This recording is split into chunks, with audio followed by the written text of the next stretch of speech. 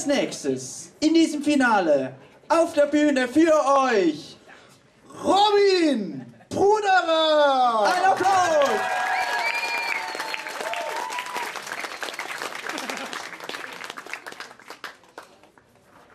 So, ähm, der Text braucht dringend eine Einleitung, dass mich gewisse Leute nicht nachher verschlönen.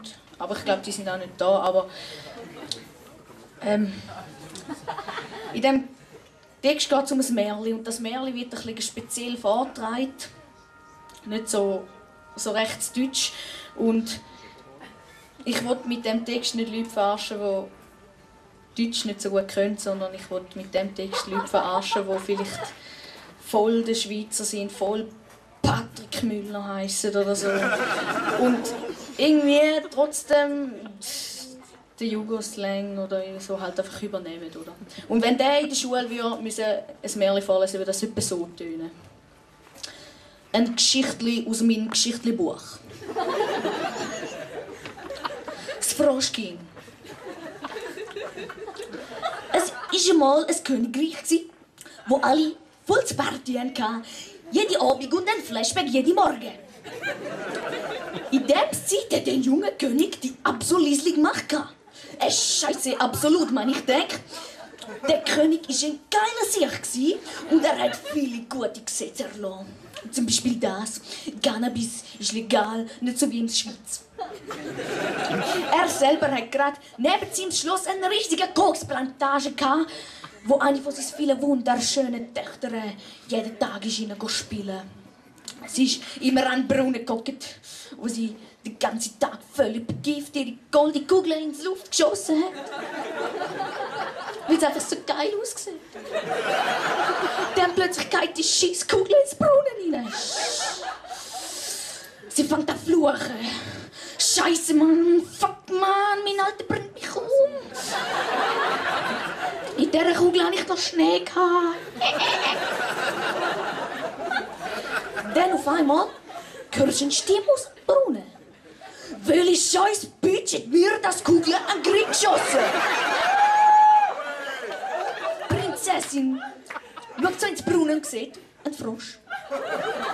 Mit einem Bühle, das glaubst du mir nicht. Sie hat ein schlechtes Gewissen und sagt, hey, sorry, Mann. Ich habe es wohl nicht extra gemacht, aber holst du mir das Kugel bitte wieder aus dem, aus dem Brunnen raus.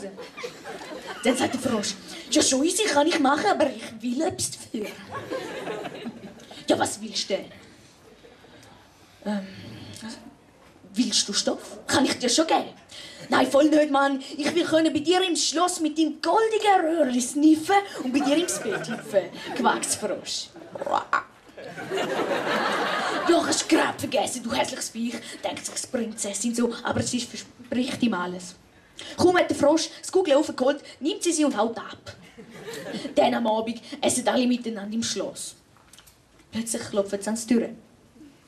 Hey Prinzessin, du hast mich voll vergessen, ruft der Frosch.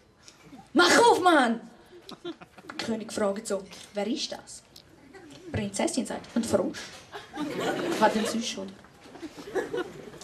Was? Du tust jetzt viel Giftfrosch lecken? Das ist meine Tochter, Mann! Nein, ich habe ihm versprochen, er darf bei mir pennen in meinem schönen Bett, aber er ist so hässlich. Dann sie, äh, ja Tochter, musst du durch, Mann. He? Da musst du durch, Mann. Der Frosch ruft schon ganz ungeduldig, hey du Schlampe, mach auf, du hast versprochen! Dann sie steht auf und es schießt sie uhuren an. Aber sie läuft zum Türen und macht auf. Sie schaut runter, sieht das grüne, glitschige Ding mit Kotz im Hals, lupft sie ihn auf und sitzt mit ihm ans Tisch. Wenn sie alle fertig sind, sie geht auf ins Zimmer. Komm, ist die Tür zu, packt sie das Frosch, uhuere brutal und wirft ihn Vollgas ans Wand. Bäm! Es gibt auch mega viel Rauch oder Nebel. Egal, die Prinzessin geht an und zieht.